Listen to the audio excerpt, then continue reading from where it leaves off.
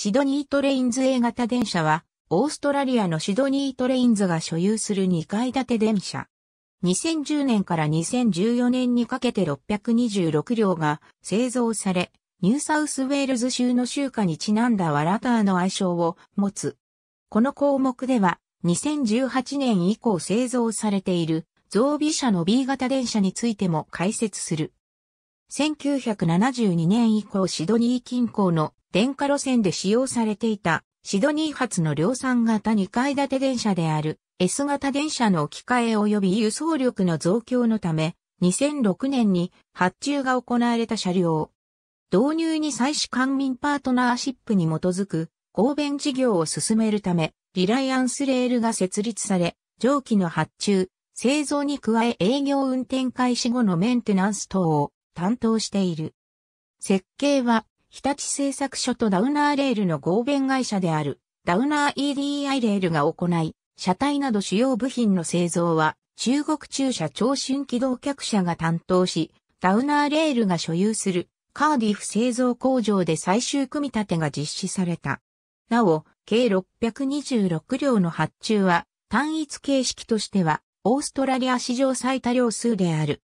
A 型以前に製造されたシドニーの近郊電車は4両編成、もしくはそれを2本連結した8両編成で使用されていたが、緊急時の乗客移動など安全性確保の理由から A 型は8両固定編成となった。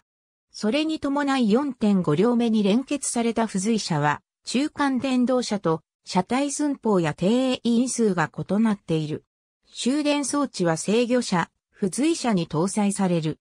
車内の座席配置は、車体中央の2階建て部分がクロスシート、車体両端の1階建て部分がロングシートとなっているほか、編成全体で16人分の車椅子スペースが確保されている。また、車内、車外各部には計100個の監視カメラが搭載され、安全性が向上している。車内の照明は環境対策や消費電力削減のため LED 照明を鉄道車両としては世界で初めて採用している。車両の電気機器は日立製作所製の制動装置はクノールブレムゼ製のものを用いる。2010年3月に最初の編成が完成し、同年7月まで試運転が行われた。その後12月に営業運転へ投入される予定であったが、車体構造の欠陥が明らかになったことによる遅れから、実際の営業運転開始は2011年4月21日となった。その結果、A 型導入に伴う費用は当初の計画から36億5ドル以上に増大した。その後は2014年までに契約分の全626両の製造が実施されている。なお、契約上2044年まで A 型のメンテナンスや乗務員の訓練がリライアンス、レールの下で行われることになっており、シドニーとレーンズ側のオプションにより、最大10年の延長も可能となっている。またメンテナンスは、オーバーンに建てられた専用施設にて、リライランスレールと契約を結んだ、ダウナー EDI レール PPP メンテナンスが実施する。